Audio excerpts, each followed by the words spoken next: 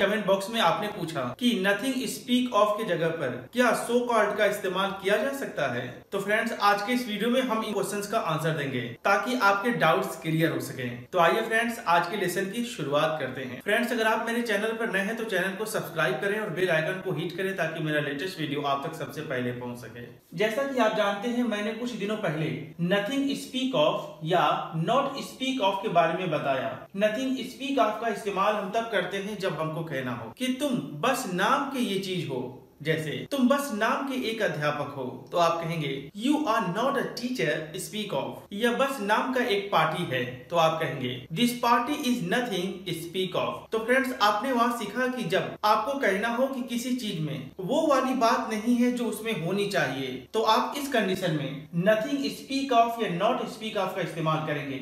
But comment box में कुछ लोगों ने पूछा कि सो कार्ड का क्या यूज़ है। तो मैं आपसे कहूँगा फ्रेंड्स कि आप नथिंग स्पीक ऑफ़ की जगह पर सो कार्ड का इस्तेमाल कर सकते हैं। यानी सो कार्ड का भी यूज़ हम तब करते हैं जब हमको कहना हो कि कोई इंसान नाम मात्र का है या बस कहने के लिए है। You are a so called teacher इसका मतलब वो फ्रेंड्स कि तुम बस नाम मात्र का एक टीचर हो या तुम बस एक कहने के लिए टीचर हो।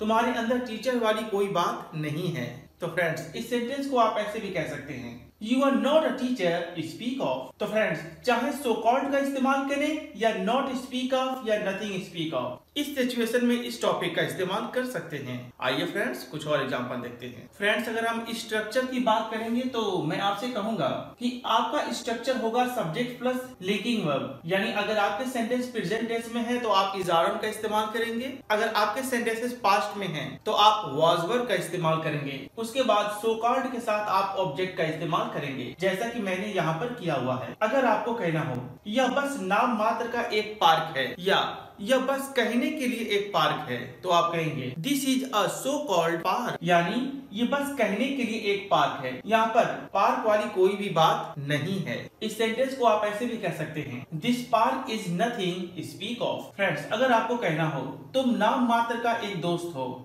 या, तुम बस कहने के लिए एक दोस्त हो तो आप कहेंगे you are a so called friend आप इस सेंटेंस को ऐसे भी कह सकते हैं you are not a friend speak of उसी तरीके से अगर आपको कहना हो वह बस एक नाम मात्र की वाइफ है तो आप कहेंगे she is a so called wife यानी वह बस कहने के लिए एक वाइफ है। आप चाहे तो इस सेंटेंस को ऐसे भी बोल सकते हैं she is not a wife speak of तो उम्मीद करता हूँ फ्रेंड्स कि आपको ये बात समझ में आया कि नथिंग स्पीक ऑफ़ की जगह पर आप सो कार्ड का इस्तेमाल कर सकते हैं। फिर मिलेंगे एक नए वीडियो में, तब तक के लिए बाय